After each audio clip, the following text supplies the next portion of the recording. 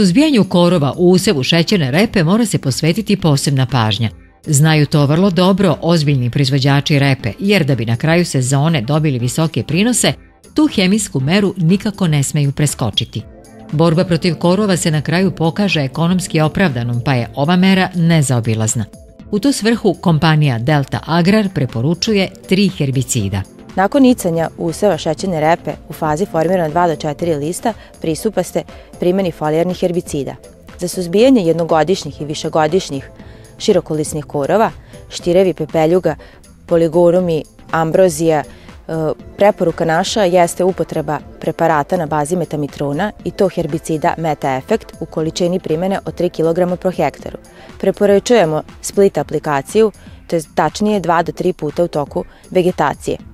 Savana je herbicid na bazi sulfoniluree koja se koristi za suzbijanje jednogodišnjih širokolisnih korova, usvaja se preko lista, delimično preko korena, te uh, i prvi uh, simptomi pojave, to je dejstva uh, preparata, uočavaju se nakon 7 do 10 dana nakon aplikacije u vidu žućenja i venjenja lista korova. Preporuka kompanije Delta Agrar je podeljena aplikacija u dozi od 30 grama po hektaru. Osim ta dva herbicida, tu je još i BOS, selektivni herbicid za suzbijanje jednogodišnjih i višegodišnjih korova u usevu šećerne repe. Herbicid BOS na bazi aktivne materije klopiralid selektivan je i suzbija jednogodišnje širokolisne korove, deluje odlično na palamidu u fazi rozete, kamilicu kad ima formirano 2 do 4 lista, ambroziju, samonikli suncokret, tatulu, dimnjaču.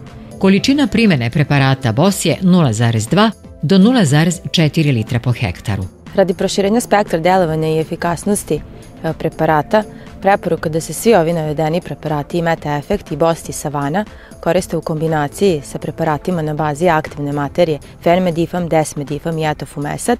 Kombinacija i izbor preparata se vrši na osnovu prisutnih korova na parceli.